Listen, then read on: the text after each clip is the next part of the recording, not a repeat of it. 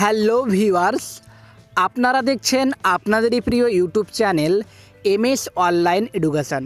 Friends, আজকে আমরা এই ভিডিওর মাধ্যমে আলোচনা করব, ভোট চুরির বই লিখেছেন মমতা, বিস্ফোরক মুকুলের।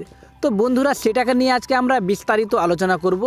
তো জানতে হলে অবশ্যই ভিডিওটাকে প্রথম থেকে শেষ পর্যন্ত দেখতে থাকুন আর ভিডিও দেখার সঙ্গে সঙ্গে একটা লাইকও করে দিবেন, কারণ আপনার একটা লাইকে আমরা আরও নতুন নতুন ভিডিও তৈরি করার উৎসাহ পাই। চলুন বন্ধুরা দেরি না করে শুরু করা যাক। আমাদের চ্যানেলে নতুন এসে থাকলে এই লাল রঙের সাবস্ক্রাইব বাটনে ক্লিক করে সাবস্ক্রাইব করে নেবেন এবং সাবস্ক্রাইব করার পরে পার্শ্বে বেল বাটনও ক্লিক করে দিবেন। কারণ যখন আমরা এই ধরনের নতুন নতুন ভিডিওগুলো আপলোড করব আপনারা ভিডিওগুলো সবার আগে পেয়ে যাবেন।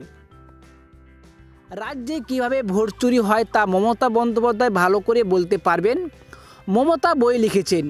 ওই বই পড়লে জানতে পারবেন সাংবাদিক সম্মেলনে রাজ্যের মুখ্যমন্ত্রীর সম্পর্কে বিস্ফোরক মন্তব্য করলে বিজেপি নেতা মুকুল রায়। একদা রাজ্যের শাসক দল তৃণমূল কংগ্রেসের সেকেন্ড ইন কমান্ড মুকুলের বক্তব্য, বাংলার সবথেকে বড় কেলেঙ্কারি ভোট মমতায় ওই কেলেঙ্কারি মূলে। বৃহস্পতিবার দুপুরে মুঘল রায় বলেন, তৃণমূলে ছিলাম, সেই পাপের প্রায়শ্চিত্ত করছি। সারা বাংলা জুড়ে ঘুরে বেড়াচ্ছি, পঁয়ত্রিশ বছরে চুরি হচ্ছিল। তার বিরুদ্ধে গণতন্ত্রকে প্রতিষ্ঠা করার লড়াই করেছিলাম। এখন দেখলাম তখন ছিল চুরি, এখন ডাকাতি। নির্বাচন কমিশনকে দায়িত্ব নিতে হবে অবাধ ও শান্তিপূর্ণ নির্বাচন করতে হবে। ঠিক সেই সময় মুকুলকে প্রশ্ন করা হয়, বাংলায় কীভাবে ভোট চুরি হয় বলুন? জবাব দিতে যেন তৈরি ছিলেন মুকুল রায়। তিনি বলেন, আমি দেখছি তো ভোট চুরি সব রকম, তাই তো বললাম, পাপের প্রায়চিত্ত করছি। তাই সারা বাংলা ঘুরে এই কথাগুলো বল, গণতন্ত্র পুনঃপ্রতিষ্ঠা করার জন্য।